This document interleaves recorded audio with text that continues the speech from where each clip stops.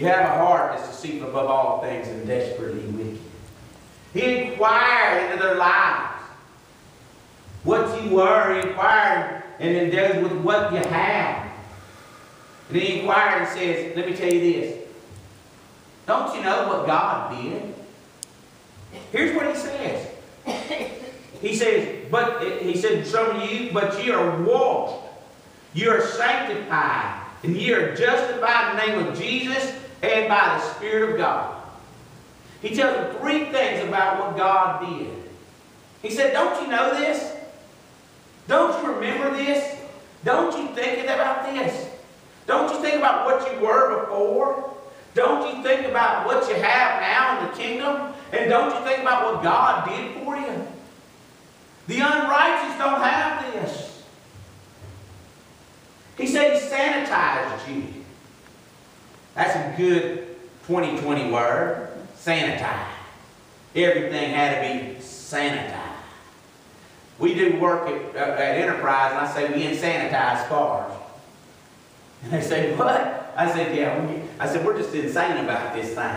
We get in there and every little spot we're sitting there wiping sanitation spray over to make sure that you don't get your COVID-19 in 2020 and or in 21. But we did, we, uh, but sanitize. He said, this is what he says. He said, you're washed. You've been sanitized. You're purged from your old sins. They've been taken as far as the east is from the west, so far to remove our transgressions from us. I mean, right. you have been sanitized. Yes.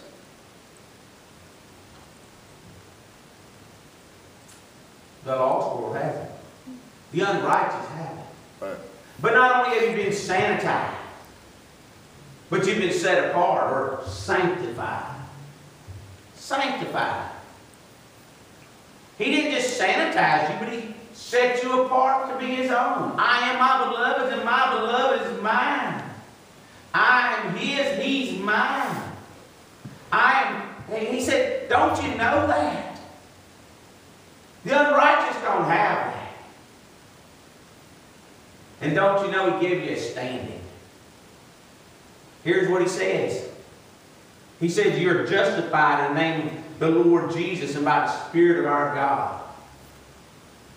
Therefore, being justified by faith, we have peace with God through our Lord Jesus Christ, by whom we have access into this grace where we stand and rejoice in the hope of the glory of God. I am talking about we have a standing. We have been sanitized. We have been sanctified, and we have a standing, and the unrighteous don't have that. They'll not inherit the kingdom of God. He's reminding them as he deals with their, their attitudes and dealing with their appetites. He says, Don't you remember where you came from? Don't you remember what you have? And don't you remember what God did to take you from where you came from to give you what you have? And the unrighteous don't have that. It ought to get our attitude better. And if our attitude gets right, our appetites will be right.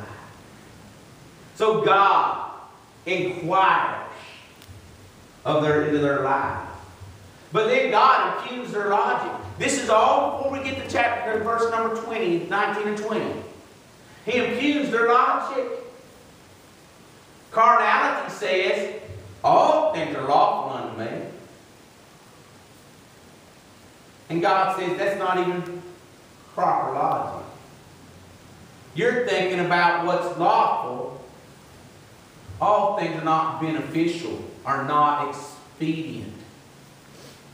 He said your logic's warped because you're looking at what can I do? What can I get away with? It's lawful. Who's telling me? I'm saved. I've been sanitized. I've been sanctified and I have a standing. So Carnality says, so it really doesn't matter what I do. What shall we say then? Shall we continue in sin that grace may abound? God forbid, how shall we that are dead to sin live any longer therein? Carnality says, all things are lawful unto me, all things are lawful for me. But proper logic says, is it really worth it? Is it worth it? Is it beneficial?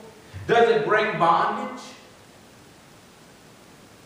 And sin will keep you longer than you want to stay. It'll take you farther than you want to stray. And it'll cost you more than you want to pay. Do not be deceived. Do not be deceived. The deceitfulness of sin. Your heart hardened by the deceitfulness of sin. God impugns their logic. Carnality says, what's wrong with it? Proper logic asks, what's right with it? Carnality says, it's my body. Meat for the belly, the belly for meat. That same logic says, my body. What's it really matter if I'm involved in fornication? What's it really matter to my body? It's just a body.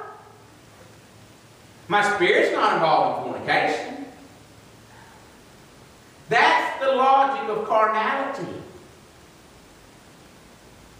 What's it matter what I watch? What's it matter what I wear? It's my body. It's just the body. This is the natural world. Spiritually, I'm okay, but in the, in natural world, I'm just living like they live. I got to fit in with this world I'm living in.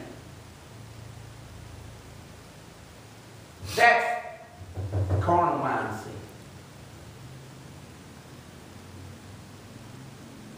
Proper logic says God sanitized you, God sanctified you, God says He had a standing for you. Why do you even want to be? Matter of fact, He makes the statement now the body is not for fornication, but for the Lord. Now he's not dealing with the moral issue here, he's dealing with a mental issue here.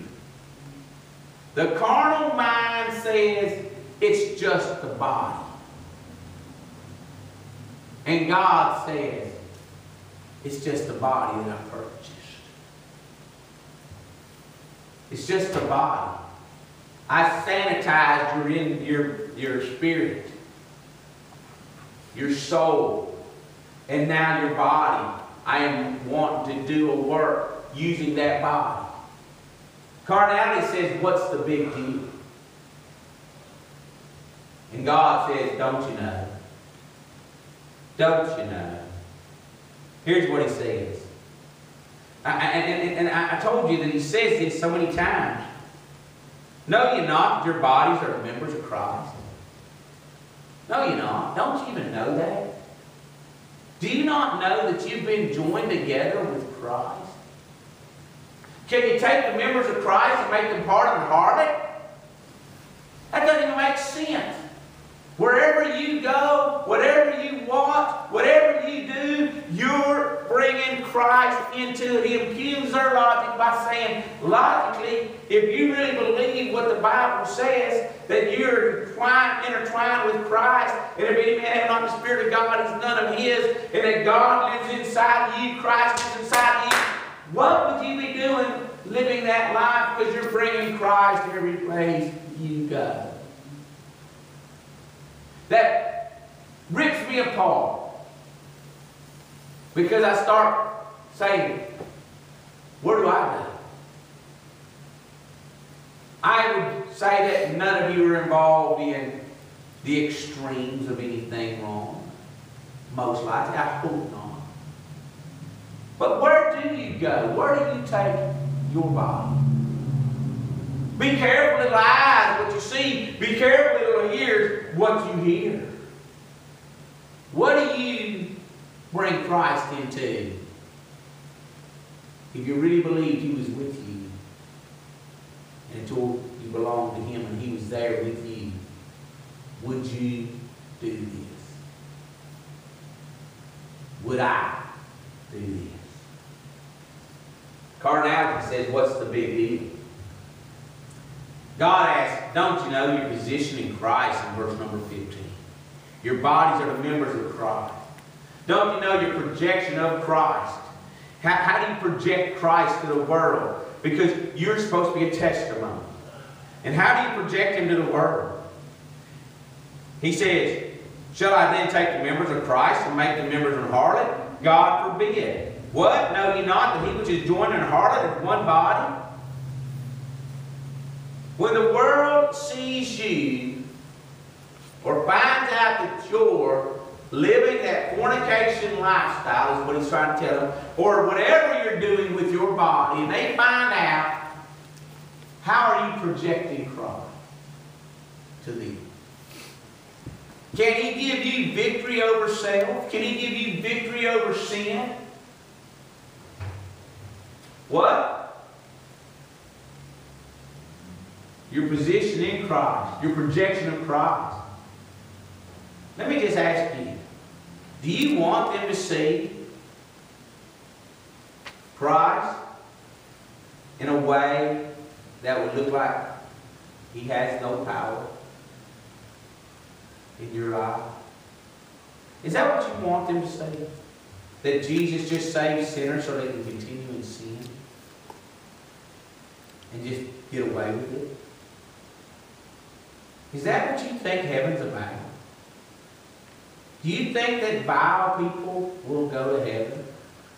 Know ye not that the unrighteous shall not inherit the kingdom of God? How do you project Christ? How do I project Christ in what I say? How do I project Christ in what I see? How do I project Christ?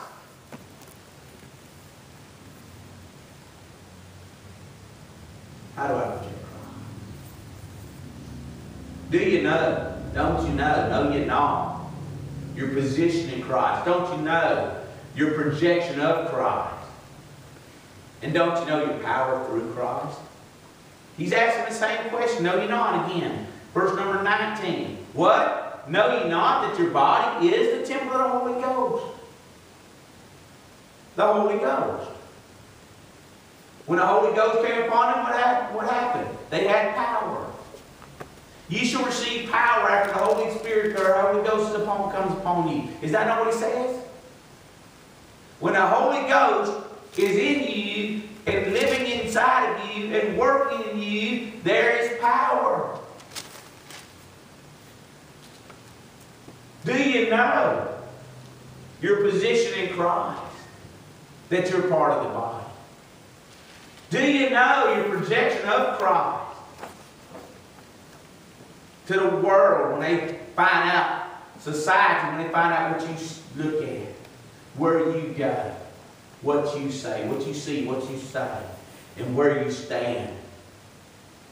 Matter of fact, over there in the book of Psalm, Blessed the man that walketh not in the counsel of the ungodly, nor standeth in the way of sinners, nor sitteth in the seat of the scornful. Where are you standing? Where are you sitting? Is your delight in the law of the Lord? Are you projecting Christ as one who delights in the living for God?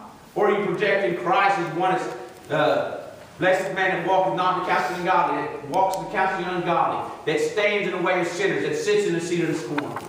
How are you projecting? How am I projecting? Then he says, Don't you know your power you have?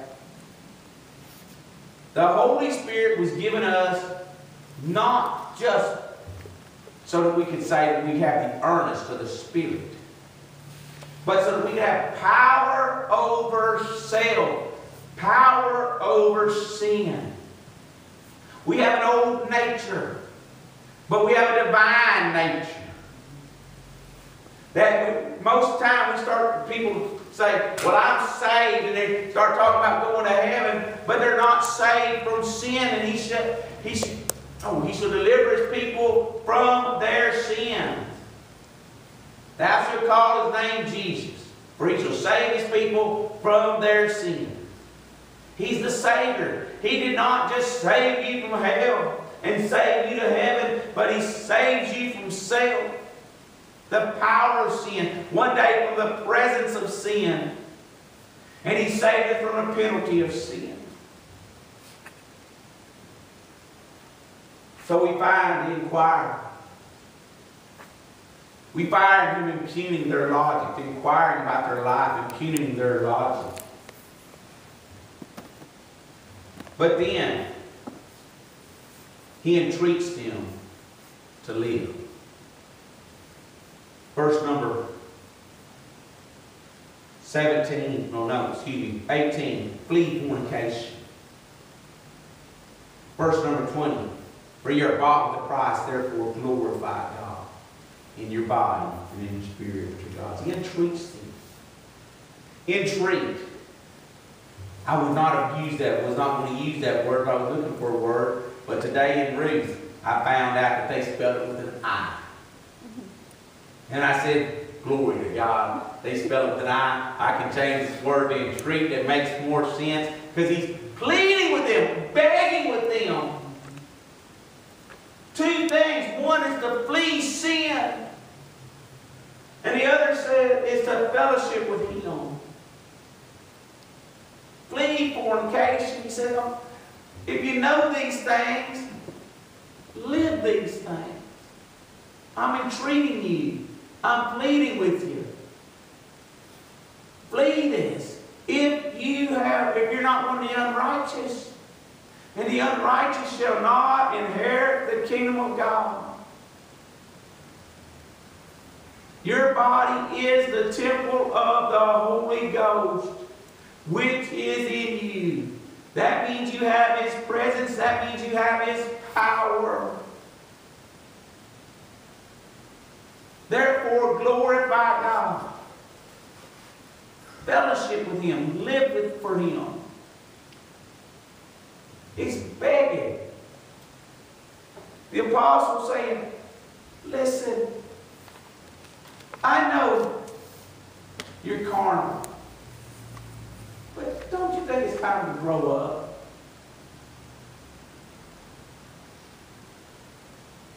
He's writing to. That's how he's writing this thing. Let me say, I don't know where you're at in your walk with God. But all of us can grow a little more. If we just get our mind focused on the unrighteous shall not inherit the kingdom of God. But you're sanctified. You're, me say your first, your walk, you're sanitized. Number two, you're sanctified or set apart. And number three, you have a standing. You have a home prepared where the saints abide. Yes, that's future. You have his, you have a place. You have his presence. And you have his power. Don't you know that? Don't you know that? Glorify God in your body, in your spirit. If you're not His, the unrighteous shall not inherit the kingdom of God. Somebody said, well, that's all about position. How do you know whether you're righteous or unrighteous? It's by your practice. And he said, listen, your practice is not living like you're living in the right position. You're carnal. You're making excuses for your attitudes. And you're making excuses for giving into your appetite. But we have the power of God. We have the presence of God. If you don't, if you say, I cannot get victory over sin in my life, then I will tell you today, you must be said, oh no, it's an addiction. God can give you power over your addiction. Whatever it is, the only good addiction that God ever tells us about is addicted to the ministry of sin. Say, I'm addicted to faith. And then it meats for the belly, and the belly for meats. I'm addicted to fornication. Isn't it? I mean, it's just my body. Just the. God saves the spirit. The body's not the one, the glorified body. You see how carnality justifies himself? And God says, what? No, your body, not that your body is the temple of the Holy Ghost. Therefore, glorify God in your body and in your spirit, which are God. Now let me say this, on the other side, there are those who say, I'm going to glorify God in my body, but they do it all for sake. And they bring their body into bondage. And they do not even allow there to be any liberty. It's all rules and regulations. And then there's no joy of the Lord. That's the other side this. That's not the Corinthians' problem. That's the Galatians' problem. Legality. Everything's cut and dry. Your body's the temple of the Holy Ghost. He can guide you into all truth. He'll lead you in the paths of righteousness for His name's sake. It's not about rules and regulations, even though rules and regulations are good. The law is a schoolmaster to bring us to Christ. But it's not about rules and regulations. It's about what? Know ye not that your body is the temple of the Holy Ghost. He can guide you. He can grow you. His power, His presence. He can give you victory. Let me say this. He can. The fruit of the Spirit. I'm just trying to tell you, your body's the temple. Therefore, glorify God in your body and your spirit to God. This thing convicts me so much. I have to say, dear God, what do I say? What do I see? What do I allow? You don't ever do that. Uh, you don't. I'd ask God, I'd ask you to examine yourself so you be in the faith. Because we can live victoriously over Satan. And I am not preaching sinless perfection. But it ought to be a sinless unto perfection.